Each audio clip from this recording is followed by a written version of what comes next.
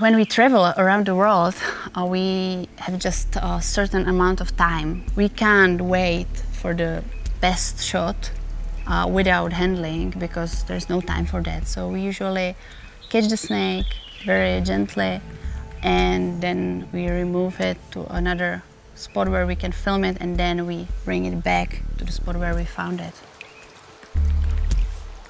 If we walked three or four kilometers to find the snake, then we walk those three or four kilometers back to release the snake at the exact same spot.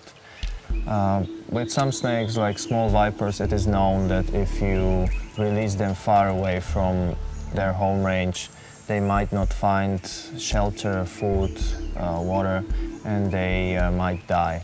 So uh, we really take the effort to mm -hmm. travel back to the same location to bring the snake back where we uh, really found it.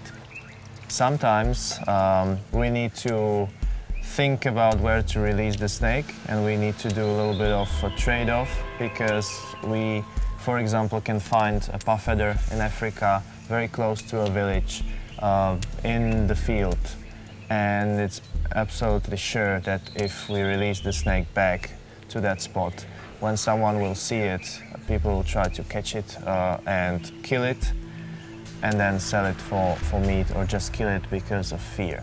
So then we try to find any small place with dense bushes where the snake can hide. We try to find the closest place where the snake will be safe and it will not uh, encounter any humans.